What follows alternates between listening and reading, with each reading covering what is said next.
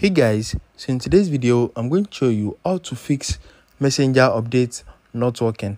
So if you recently update your messenger application and it is not working let me show you two things you can do to fix that. So the first thing you can do is to clear the app bug. So there might be a bug in the update that you just download. So let me show you how to clear them. Just head over to your settings and you need to scroll down to general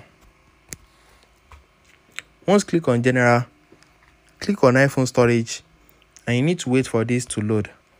Once it starts load look for messenger right here and you need to offload the app. Just click on messenger and you need to offload and reinstall it. So once you offload it it's going to keep the document and data and you'll be able to restore it you'll be able to reinstall it at any time.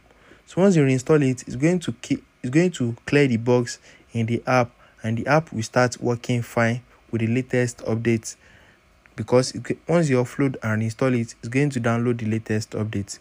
The second thing you can do is to check if the issue is from messenger itself. So there are sometimes that the issue will be the instagram developer maybe they are fixing something or there's just an error with their server.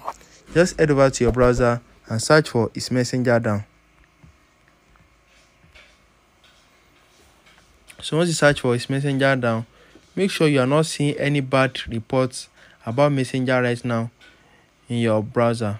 So you can also click on the down detector website to see the full analytics.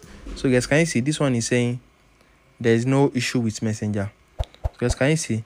This down detector website is, all, is also going smoothly around this place.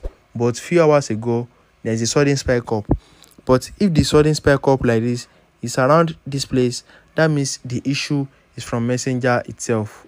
Just do these two things and it's going to fix your messenger not working. If you have any question about this drop them in the comment down below and don't forget to like share and subscribe to my channel. Thanks for watching guys